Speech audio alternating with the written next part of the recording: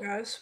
Today we're playing Popper! Fulfill your dreams of maximum property damage by destroying buildings, instructions brick by brick. So we just break a bunch of stuff. Play this a freaking game. Why do I walk like this?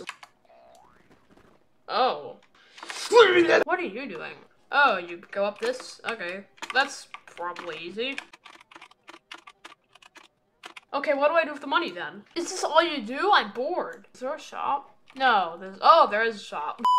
Oh, multipliers, faces, woman. Rush is a face. I destroyed 2% of the map. I actually thought I did less than that. I have to. yeah, so let's do this. Whoa! Oh, wait, I just realized I have 86,000 money.